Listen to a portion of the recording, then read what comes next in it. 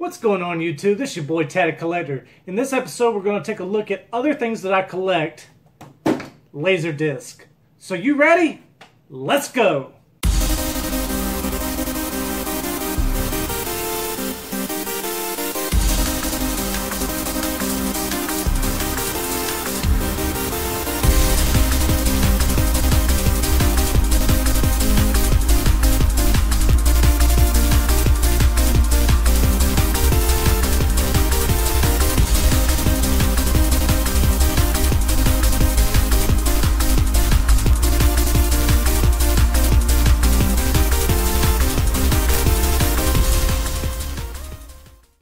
Okay, YouTube, so we're going to talk Laserdisc.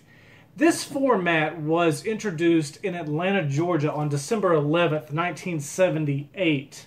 Um, this was the format that was brought after VHS and Beta.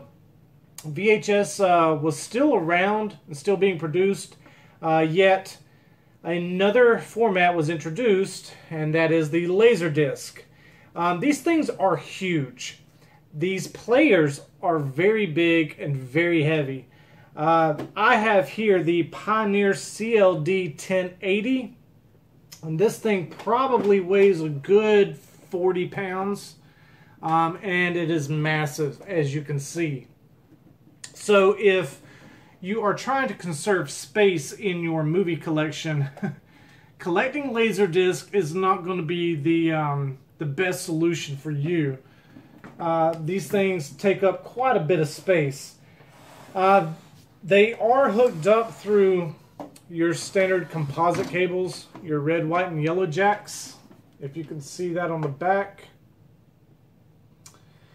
And we will take a look at some of the laser discs in my collection. Now there's several different types of laser disc players. Uh, this one happens to only play one side at a time. There are others that you can put the disc in, and once it has played one side, it'll automatically um, start playing the opposite side and continue the movie. So, we will start off with uh, this stack of laser Laserdisc I have here in my collection. Alright, what type of Batman collector would I be if I did not have all of the Batman movies on Laserdisc. We've got Batman, Batman Returns, and Batman Forever. So, I'll let you take a look at what these discs look like. They are huge. They look like records, but this is going to be what a laser disc looks like. And it is both sides. This uh, particular movie happens to come with two. You've got one um, with extended play. And uh, this actually goes on to two disc. The um,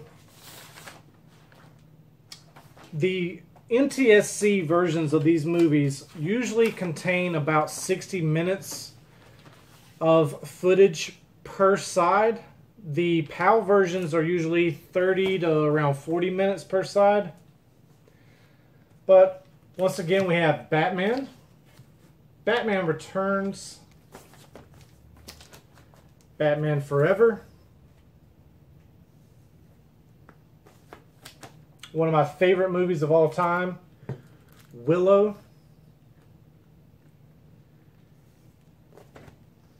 We got The Silence of the Lambs.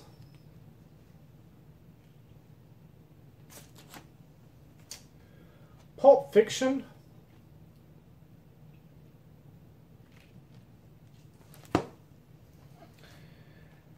Al Pacino in Scarface. Say hello to my little friend. This is actually in a really uh, nice kind of hard shell plastic casing. Where uh, one side you can put the disc, the other side is for the actual cover. Sigourney Weaver in Alien 3.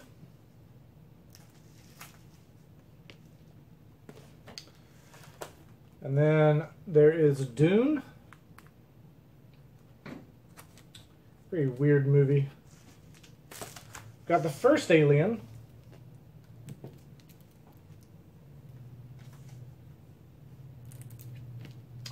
The special longer version with, with 12 minutes of new footage of Star Trek the Motion Picture. And I'm sure that uh, the superseded format from Laserdisc was CD and DVD. And I'm sure a lot of a lot of the extra footage and, and the special features that were featured on the Laserdisc made it to the DVD versions. We had the special edition of Terminator 2 Judgment Day.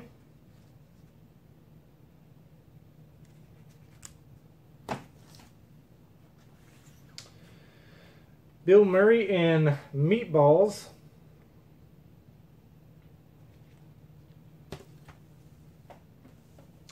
Dolph Lundgren in Red Scorpion.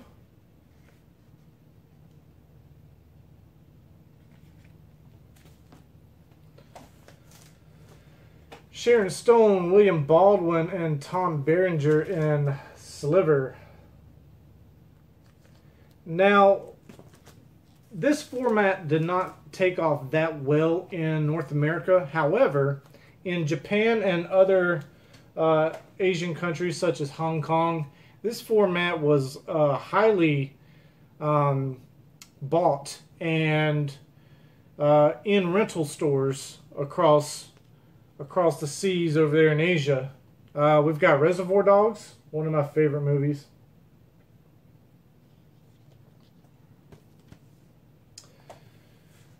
All-time classic Michael Keaton as Beetlejuice.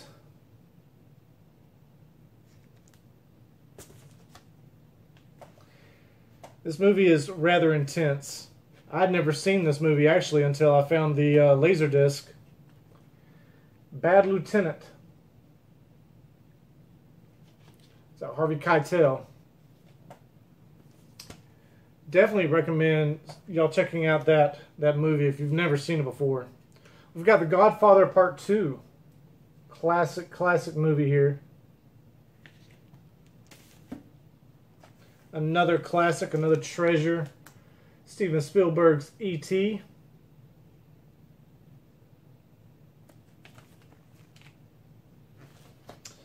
John Belushi and Dan Aykroyd in The Blues Brothers.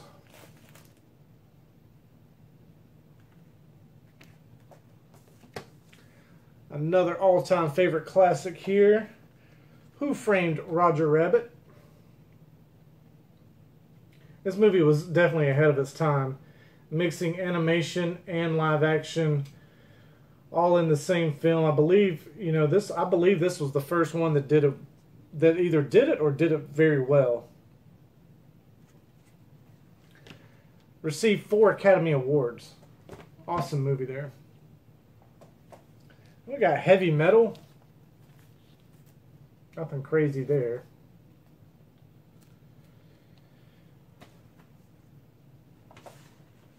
The Stuntman.